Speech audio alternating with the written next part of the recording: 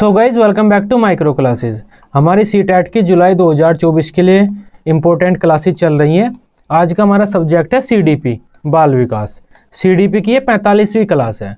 आज का हमारा टॉपिक रहेगा, जब हम बच्चों का मूल्यांकन करते हैं तो अलग अलग प्रश्नों का प्रयोग करते हैं। तो किस किस प्रकार के हम प्रश्नों का प्रयोग करते हैं?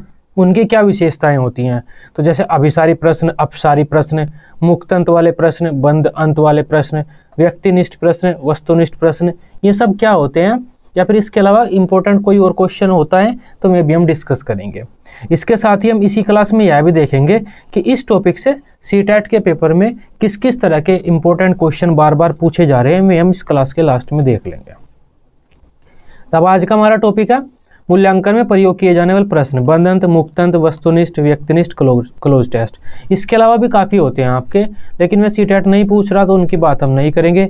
सी जिस क्वेश्चन को पूछ रहा है, उसी क्वेश्चन की हम बात करेंगे।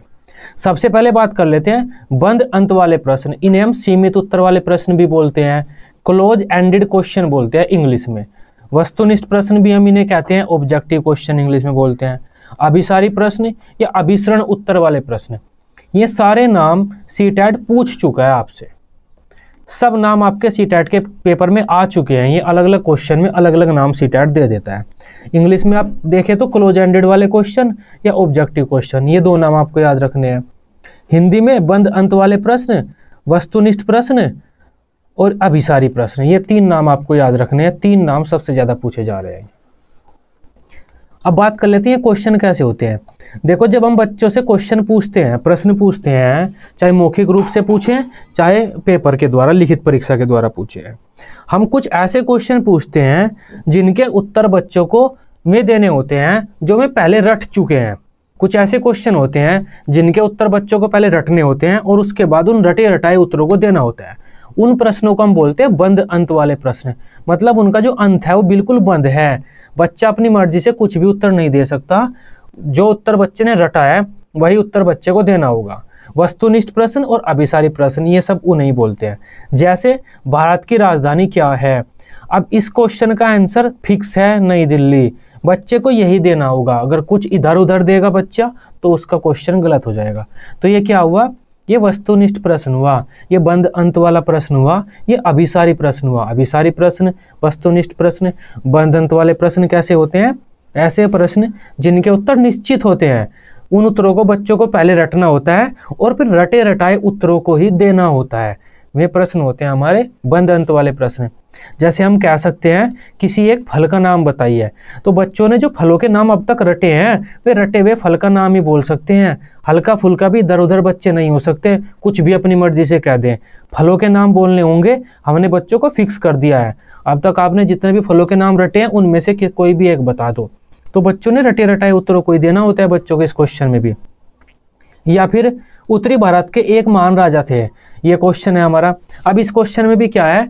जो राजाओं के नाम बच्चों ने पहले रट रखे हैं, उत्तर भारत पर जिन्होंने राज किया है, उनमें से किसी एक राजा का नाम बच्चों को बताना होगा। चाहे अशोक बताएँगे चाहे अकबर बताएँ, चाहे पृथ्वीराज चौहान बताएँ, चाहे कुछ और बताएँगे लेकिन जो चीज़ बच्चों ने पहले से रटी हुई है, वही आपको बतानी होगी। तो ये क्वेश्चन ऐसे होते हैं, इनके आंसर बच्चे पहले रटते हैं और फिर रटे रटाए उत्तरों को ही देते हैं। ऐसे क्वेश्चन को हम बंधंत वाले प्रश्न, वस्तुनिष्ठ प्रश्न या अभिसारी प्रश्न बोलते हैं। अब इनके बारे में जो लिखा हुआ है, वो पढ़ लेते हैं। ये ऐसे प्रश्न होते हैं जिनके उत्तर पहले से ही निश्चित होते हैं। बच्चों को वही रटे रटाए उत्तरों को देना होता है। अपनी मर्ज़ी से बच्चे कोई भी उत्तर नहीं दे सकते। जैसे ये, इस प्रकार के प्रश्न ये होते हैं, ये उदाहरण है। हमने आपको बता दिया ये प्रश्न बालकों को रटने पर बल देते हैं और उनकी सोच को सीमित करते हैं। बच्चों की सोच है उसे लिमिटेड करते हैं। बच्चों को क्रिएटिविटी के लिए नहीं बढ़ा बढ़ाते हैं। बच्चों की क्रिएटिविटी को नहीं बढ़ाते या बच्चों की क्रिएटिविटी सृजनात्मकता को बढ़ाने पर बल नहीं देते। बस बच्चे की सोच को सोच को ही सीमित कर देते हैं। बच्चे की सोच को लिमिटेड कर देते हैं कि ये जो चीज़ आपने रटी है, वही आपको बतानी है। नेक्स्ट है हमारा, इन प्रश्नों का उत्तर देने के लिए छात्रों को अभिसारी चिंतन करना होता है। अभिसारी चिंतन और अभिसारी प्रश्न यहाँ से आप देख सकते हैं, बिल्कुल सेम है। तो ये चीज़ें तो आप सिमिलर या अभिसारी प्रश्न के लिए अभिसारी चिंतन आपको करना होगा। अभिसारी चिंतन का मतलब होता है रट रटाया चिंतन, निश्चित चिंतन। जो चीज़ आपने पहले पढ़ी है, उसी के बारे में सोचना है, आपको कोई एक्स्ट्रा चीज़ें आप नहीं सोच सकते। मनोविज्ञान के क्षेत्र में इस प्रकार के प्रश्नों को अच्छा नहीं माना जाता, क्योंकि ये बच्चे का सृजनात्मकता का विकास नहीं कर रहे हैं, रटने पर बल दे रहे हैं। तब इन प्रश्नों को हम अच्छा नहीं मानते। इस प्रकार के परीक्षणों को तैयार करना कठिन होता है, लेकिन इस प्रकार के परीक्षणों का आकलन स्पष्ट होता है। अगर ये प्रश्न खराब है तो हम इनका प्रयोग क्यों करते हैं? बस इनका आकलन थोड़ा अच्छा हो जाता है। जैसे कि हमारे जो कॉम्पिटिटिव एग्ज़ाम है, उनमें इन्हीं तरह के प्रश्नों का प्रयोग किया जाता है, क्योंकि इनके उत्तर निश्चित होते हैं, तब हम उनका जो आकलन करते हैं, उनकी जाँच है, वो आसान हो जाती है। लेकिन ये क्वेश्चन यूज़ नहीं करने चाहिए, अच्छे क्वेश्चन नहीं होते हैं। दूसरी बात है हमारी, दूसरे तरह के क्वेश्चन है। अब सारी क्वेश्चन मुक्त अंत वाले प्रश्न मुक्त, उत्तर वाले प्रश्न ओपन एंडेड क्वेश्चन व्यक्तिनिष्ठ प्रश्न सब्जेक्टिव क्वेश्चन तो open ended question subjective question English में बोलते हैं हम इसे। अब सारी प्रश्न, मुक्त, उत्तर वाले प्रश्न, व्यक्तिनिष्ठ प्रश्न, ये हिंदी में बोलते हैं। ये नाम आपको याद रखने होंगे। अब देखो, कुछ ऐसे प्रश्न होते हैं जिनके उत्तर पहले से रटे रटाए नहीं होते, जिनके उत्तर पहले से फिक्स नहीं होते। बच्चे अपने अनुभव के आधार पर, अपने एक्सपीरियंस के आधार पर अपनी सृजनात्मकता के स्तर के आधार पर कुछ भी उत्तर लिख सकते हैं। ऐसे प्रश्नों को हम अपसारी प्रश्न बोलते हैं, व्यक्तिनिष्ठ प्रश्न बोलते हैं, मुक्त उत्तर वाले प्रश्न बोलते हैं। मुक्त उत्तर मतलब इनके जो आंसर है वो ओपन है। फ्री है बट कोई भी बच्चा कुछ भी उत्तर दे सकता है। जैसे कि नई दिल्ली की विशेषताओं का वर्णन कीजिए। अब सब बच्चे अपने एक्सपीरियंस के आधार पर, अपने अनुभव के आधार पर कुछ भी उत्तर दे सकते हैं। कोई रटा रटाया उत्तर इस सवाल का हो ही नहीं सकता। महाद्वीप किसे कहते हैं? अब बच्चे अपने हिसाब से, अपने एक्सपीरियंस से महाद्वीप को किसी भी तरह से वर्णित कर सकते हैं कि जो चारों ओर से जल से घिरा हुआ है, वह महाद्वीप होता है या वह भूमि जिसके आसपास जल होता है महाद्वीप होता है या भूमि का एक बड़ा क्षेत्र महाद्वीप होता है जो जल से ढका होता है, जिसके पास में जल होता है। तो बच्चे अपने एक्सपीरियंस से, अपने अनुभव से कुछ भी कह सकते हैं। कोई रटा रटाया फिक्स उत्तर नहीं देना है बच्चों को। भारत की किन्हीं तीन वर्तमान समस्याओं के बारे में लिखिए। अब यहाँ पर बच्चे भारत की वर्तमान समस्याओं के बारे में लिखेंगे, लेकिन कुछ भी समस्या लिख सकते हैं वे अपनी मर्ज़ी से। यहाँ पर बच्चे कोई रटा रटाया उत्तर नहीं दे रहे हैं। वे अपनी मर्ज़ी से कोई भी समस्या लिख सकते हैं जो भी उन्होंने अपने जीवन में महसूस किया है। तो बच्चे फ्री हैं। तो इन क्वेश्चन में बच्चे अनुभवों के आधार पर, अपने एक्सपीरियंस के आधार पर कुछ भी उत्तर दे सकते हैं। रटकर उत्तर नहीं देने होते बच्चों को तो ऐसे प्रश्नों को हम अब सारे प्रश्न बोलते हैं। ये प्रश्न अच्छे होते हैं। इन प्रश्नों का पहले से ही कोई निर्धारित उत्तर नहीं होता। इन प्रश्नों का उत्तर छात्र अपने अनुभव के अनुसार कुछ भी दे सकते हैं। ये प्रश्न ये होते हैं। इन प्रश्नों की भाषा या उत्तर में प्रयोग किए जाने वाले शब्द पहले से ही निर्धारित नहीं होते। इन बच्चों की ये जो प्रश्न होते हैं, ये बच्चों की सोचने, समझने की अक्षमता, कल्पना करने की अक्षमता, सृजनात्मकता आदि को सुधारते हैं। इन प्रश्नों को तैयार करना तो आसान होता है, लेकिन इनका आकलन अधिक स्पष्ट नहीं होता, क्योंकि ऐसे प्रश्नों में हम निश्चित नंबर नहीं दे सकते कि दस में से हम आठ नंबर दें या सात नंबर दें। शिक्षक अपने अनुभव के आधार पर नंबर दे देता है तो आकलन इनका थोड़ा कठिन होता है करना। अब देखो, यहाँ पर एक नोट लिखा हुआ है कि अपसारी, व्यक्तिनिष्ठ, सृजनात्मकता, मौलिक मौलिक चिंतन, समस्या समाधान, ये मिलते जुलते शब्द हैं। इसका मतलब है, ये शब्द हमेशा एक साथ चलेंगे। पेपर के लिए ध्यान रखना है आपको, अगर कोई आपसे पूछे आप सारी किस शब्द से जुड़ा हुआ है या किस क्रिया से जुड़ा हुआ है, और इनमें से कोई भी एक शब्द लिखा हुआ है तो वह उसी से जुड़ा हुआ होगा। समझ पाए आप? मुक्त उत्तर वाले प्रश्न कौन से होते हैं? ऐसे प्रश्न जिसमें बच्चे अपने अनुभव से कुछ भी उत्तर दे सकते हैं। अपने उत्तर देने के लिए बच्चे फ्री होते हैं। अपने एक्सपीरियंस से कुछ भी उत्तर दे सकते हैं। उन्हें रटकर उत्तर नहीं देना होता। नेक्स्ट बात कर लेते हैं क्लोज टेस्ट की। देखो क्लोज टेस्ट एक तरह से हमारा फिलिंदा ब्लैंक ही होता है। एक पैराग्राफ होता है, बड़ा पैराग्राफ उसके कुछ शब्दों को हम गायब कर देते हैं। बच्चों को उन शब्दों को अपने भरना होता है। हो सकता है हम नीचे लिख दें कि पहले नंबर में हमारे ये शब्द हैं, इनमें से एक आएगा, दूसरे नंबर में इनमें से एक आएगा तो ऐसे। एक बड़ा पैराग्राफ होता है फिलिंदा ब्लैंक की तरह, और बच्चों को उन फिलिंदा ब्लैंक्स को भरना होता है। ये हमारा क्लोज टेस्ट कहलाता है। ये भी एक बार आ गया था तो इसको भी थोड़ा सा पढ़ लेना। तो ये आज का हमारा टॉपिक था। अब देख लेते हैं कि इस टॉपिक से सी के पेपर में किस तरह के क्वेश्चन पूछे जाते हैं। सबसे पहला क्वेश्चन है हमारा, निम्नलिखित में से कौन सा बच्चों को गंभीर रूप से सोचने के लिए आमंत्रित करता है? मतलब ये जो क्वेश्चन लिखे हुए हैं, इनमें से कौन सा क्वेश्चन बच्चों को गंभीर रूप से सोचने के लिए प्रेरित करेगा? क्या आप इसका उत्तर जानते हैं? क्या इसका सही जवाब क्या है? क्या आप इसी तरह की स्थिति के बारे में सोच सकते हैं? विभिन्न तरीकों से हम इसे कैसे हल कर सकते हैं? तो ये कुछ क्वेश्चन लिखे हुए हैं, इनमें से हमें वह क्वेश्चन ढूंढना है जो बच्चों को सोचने के लिए ज़्यादा प्रेरित करता है। अब पहला ऑप्शन है हमारा, क्या आप इसका उत्तर जानते हैं? अगर बच्चे जानते होंगे तो यस कहेंगे, नहीं जानते होंगे तो नो कहेंगे। तो ये तो ज़्यादा सोचने के लिए बच्चों को प्रेरित कर ही नहीं रहा। सही जवाब क्या है इसका? बच्चे सही जवाब बताएँगे। तो इसमें बच्चे कुछ ज़्यादा सोच नहीं रहे हैं। क्या आप इसी तरह की स्थिति के बारे में सोच सकते हैं? तो इसमें बच्चे थोड़ा सा सोच रहे हैं जो स्थिति आपके सामने है, इस तरह की किसी और स्थिति के बारे में सोच सकते हैं कुछ आप तो बच्चे सोचेंगे।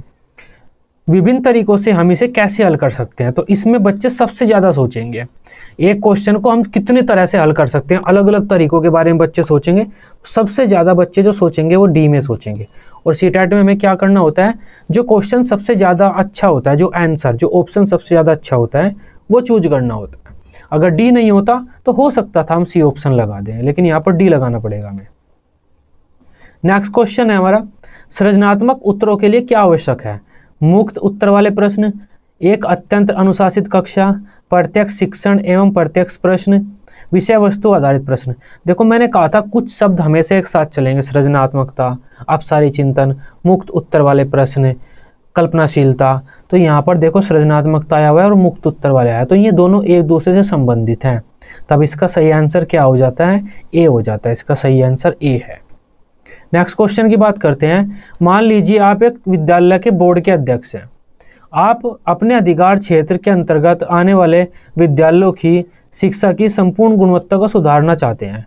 तो आप इसके लिए किस प्रकार के प्रश्नों का प्रयोग करेंगे? सीधी सी बात है, आप बच्चों के बोर्ड के एग्ज़ाम ले रहे हैं और आप बच्चों का पेपर बना रहे हैं। तो आप उस पेपर में किस तरह के प्रश्न रखेंगे? निम्न स्तरीय अभिसारी, निम्न स्तरीय अपसारी, उच्च स्तरीय अभिसारी, उच्च स्तरीय अपसारी। अब देखो, अभी सारी प्रश्नों को तो हम अच्छा ही नहीं मानते। तो ये जो दो ऑप्शन है, इसे तो हम काट ही देते हैं। अब सारी प्रश्नों को हम अच्छा मानते हैं। तो इसका उत्तर या तो ये हो सकता है या फिर ये हो सकता है। अब यहाँ पर क्या लिखा हुआ है? निम्न स्तरीय अपसारी प्रश्न। मतलब हल्के अपसारी प्रश्न आप बच्चों को देंगे या अच्छे, भारी वाले, उच्च स्तर के अपसारी प्रश्न आप बच्चों को देंगे? तो हम अच्छे वाले अपसारी प्रश्न बच्चों को देंगे, भारी वाले, उच्च स्तर के। तो इसका आंसर डी हो जाता है। नेक्स्ट क्वेश्चन की बात करते हैं। बंद अंत वाले प्रश्नों के विषय में सही नहीं है। देखो, यहाँ पर नहीं लिखा हुआ है तो ये नहीं वाला क्वेश्चन है। हमें यहाँ पर नेगेटिव उत्तर ढूंढना है। बंद अंत वाले प्रश्नों के बारे में क्या चीज़ गलत है? बंद अंत वाले क्वेश्चन कौन से होते हैं जिसमें बच्चे रटते हैं? ये वस्तुनिष्ठ होते हैं, ये बात तो सही है। ये छात्रों की सोच को सीमित करते हैं, ये भी बात सही है। इनको अधिक बढ़ावा दिया जाना चाहिए, ये गलत है। इन प्रश्नों को हमें बढ़ावा नहीं देना चाहिए। ये सृजनात्मकता को पोषित नहीं करते। ये भी बात सही है। पोषित करना बढ़ाना तो ये सृजनात्मकता को नहीं बढ़ाते। सही बात है। तो हमें नहीं वाला, उल्टे वाला उत्तर देना है। तो इसका आंसर हो जाता है सी। नेक्स्ट क्वेश्चन है हमारा। किसी एक धातु का नाम बताइए। ये किस प्रकार का प्रश्न है? अब देखो, हमें एक धातु का नाम बताना है मेटल तो जितने भी धातुएँ हमने रटी हैं, उन धातुओं के, उन धातुओं में से हमें किसी भी एक धातु का नाम बताना तो ये रटा रटाया क्वेश्चन है। रटा रटाया क्वेश्चन कौन सा होता है? अभिसारी होता है। हम अपनी क्रिएटिविटी यहाँ पर नहीं दिखा सकते।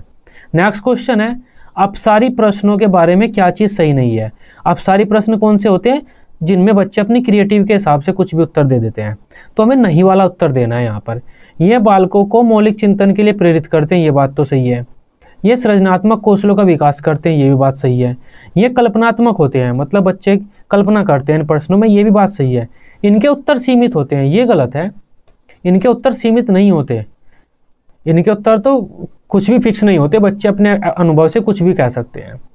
मूल्यांकन का एक अच्छा तरीका कौन सा माना जाता है? अभिसारी प्रश्न, कहानी कथन, अवलोकन, पोर्टफोलियो। अब देखो, अभिसारी प्रश्न तो गलत होता है।